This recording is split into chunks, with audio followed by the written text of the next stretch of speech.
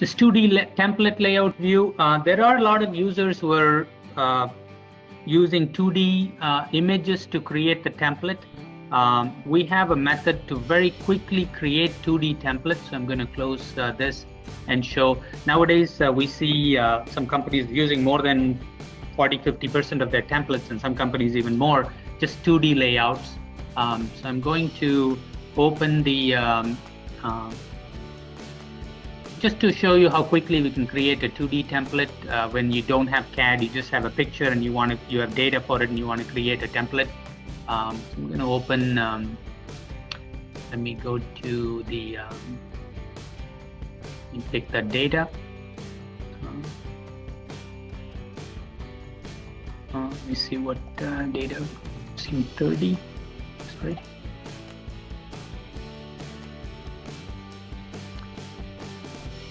So I'm going to uh, pick like a start model.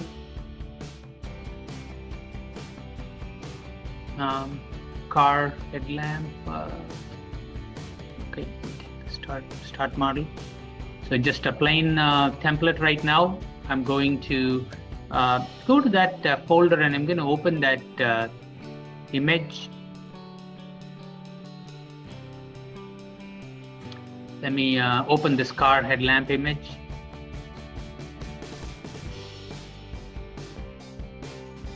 Give it a second. Okay, there it is. So there are six uh, measurements that are made. I'm going to use my uh, clipboard to just clip up.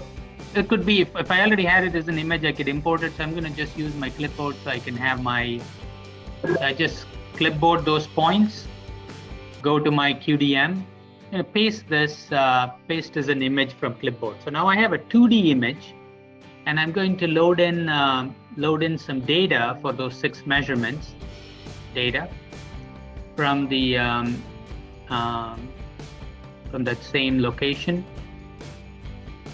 Let's say the um, data set one. So now I have data for measurement number seven, measurement number six, measurement number five, four, because it's a 2D image, the system doesn't know how to automatically point the leader lines to these uh, to the locations. So for this, we created a 2D template layout wizard, where it kind of lets you. I'm going to go to next. Pick a chart and place.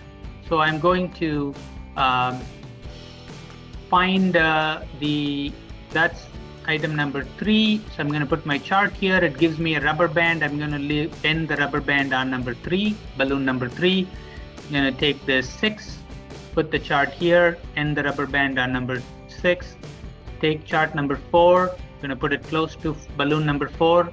Take the rubber band and place it at, at the four. Two, move that two and place that chart to two. Uh, one, I'm to move the chart up here and place that here. Five, then rubber band that to here. So now I've uh, done seven, uh, you know, place it here and move the rubber band here. Then do uh, Control L, Control Shift L. That would, uh, sorry, con um, Control L. That will do an auto leader line to close to those points. So very quickly, I took a 2D image and uh, loaded the data without the nominal position and using this template layout wizard, kind of walk through all these charts and place them to place their leader lines where it belongs to.